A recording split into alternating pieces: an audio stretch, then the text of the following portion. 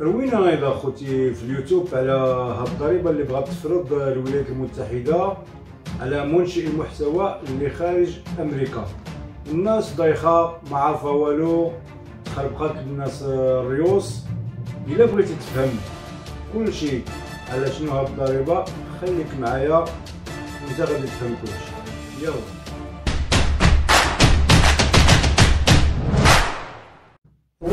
السلام عليكم ورحمة الله تعالى وبركاته.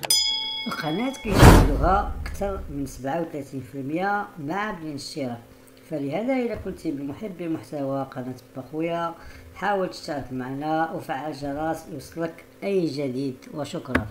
كي قلنا بأن اليوتيوب هاد الأيام داير ضجة ولا فيه ضجة على هادشي ديال الضرائب. كأنك صانع محتوى وعندك علاقة مع AdSense وبداو تيدخل لك ولو غير سنس واحد عن طريق أساس. فملزوم عليك باش تعمر هاد الوثيقه ديال الضريبة باش تعطي معلوماتك الضريبية.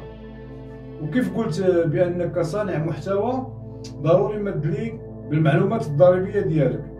فلهذا ضروري أي واحد فيكم غيكون جاه بحال هاد ال Gmail. هاد ال Gmail شي يقول قال لك سيدي هام التغييرات المرتقبه في ضريبة الدخل على اليوتيوب.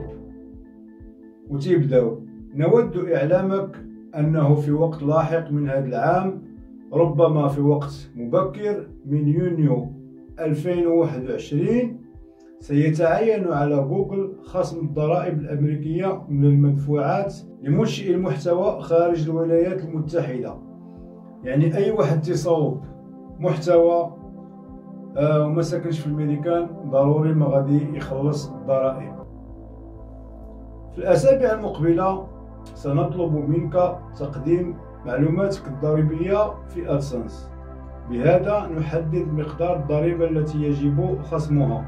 يعني ملي غيطلعوا على داك الشيء اللي كتربح من اليوتيوب غادي يحددوا يعني شحال غادي تقطع ديال الضريبة. مازال ما كاينش شي شي حاجة باينة لحد الساعة ولكن حنا نكملوا إذ لم تتقدم معلوماتك بحلول 31 ماي 2021 فقد يطلب من جوجل خصم ما يصل إلى 24% من إجمالي إيراداتك في جميع أنحاء العالم. يعني آه عندك الحق. حتى 30 ماي.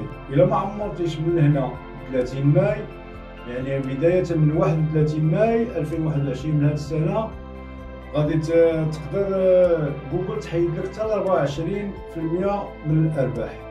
يعني فلهذا الإنسان ضروري ما يعمر هذه الوثيقة إلى عنده يا داخل من اليوتيوب أنا كيف لكم ولو غير سنت واحد. النقطة الثانية أش خاصك دير في الأسابيع المقبلة؟ ستتلقى بريدا الكترونيا لإرسال معلوماتك الضريبية عبر الإنترنت في أدسنس. من ست خطوات بناء على بعض الأسئلة. نحدد ما كانت الضرائب الأمريكية تنطبق على حالتك. يعني ملي كتعمر ملي غادي يجيك هذا البريد الالكتروني وغادي تعمر هذيك الوثيقة تماك غادي تبين واش عندهم حق يقتطعوا الضرائب منك ولا ما عندهمش حق. وكاين هنا لمعرفة المزيد حول التغييرات والحصول على ملخص للمعلومات الضريبية. للتحضير تفضل بزيارة مركز المساعدة الخاص بنا. يعني راه تماك هذاك help center تما كاينة تقدر تدخل تشوف شنو كاين. النقطة الثالثة علاش هذا الشيء؟ قال لك سيدي تتحمل جوجل بموجب الفصل. ثلاثة من قانون الإيرادات الداخلية الأمريكي مسؤولية جميع المعلومات الضريبية من جميع المبدعين الذين دخلا خارج الولايات المتحدة. وتم بعض الحالات لخصم الضرائب إذ كان المبدعون يكسبون أموالا من مشاهدين في الولايات المتحدة. سنعمل قريبا على تحديد بنود الخدمة لتوضيح أرباح اليوتيوب التي تعتبر عائدات في نظام الضرائب الأمريكي. يمكن أن يؤثر ذلك على كيفية فرض ضرائب على دخلك ومقدار الضريبة التي يتعين على جوجل خصمها بموجب قانون الولايات المتحدة. يعني كيف فهمنا من هذا الشيء؟ ضروري على جوجل ما تعطي الضرائب الأمريكية أي أي واحد كينشأ شي محتوى خارج الولايات المتحدة الأمريكية. ولكن هذا الشيء راه ما عنده دخل هذا الشيء ما عنده دخل مع يعني الأرباح اللي كتجيك من جهة واحدة أخرى غير اليوتيوب.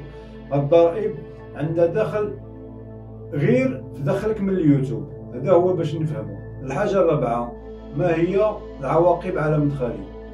إذا قدمت معلوماتك الضريبية فلا يمكن تطبيق أي ضرائب أمريكية إلا على أرباحك الشهرية من AdSense. على سبيل المثال YouTube Premium مشاهدة الإعلانات Super Chat وعضويات القناة.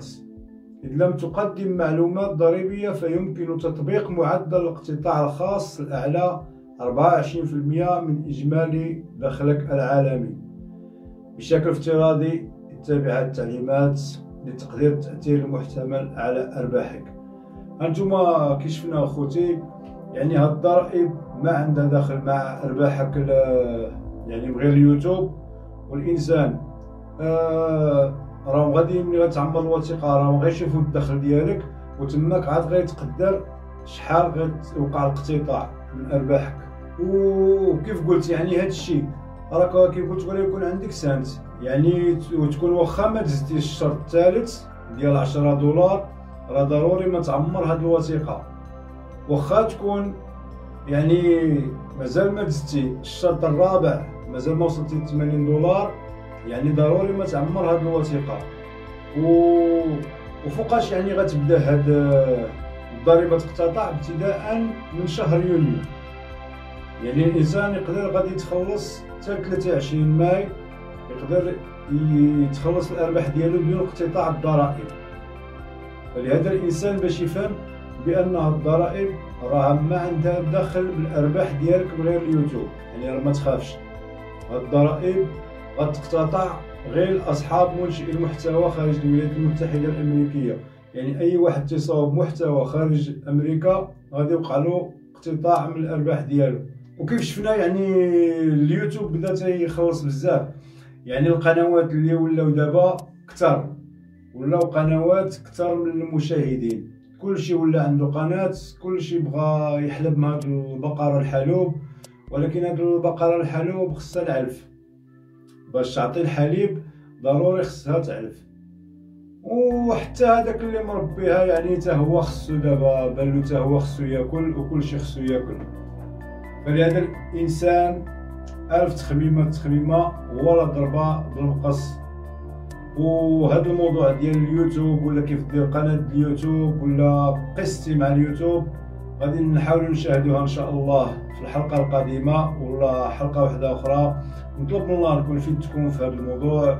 أستودعكم الله. السلام عليكم ورحمة الله تعالى وبركاته.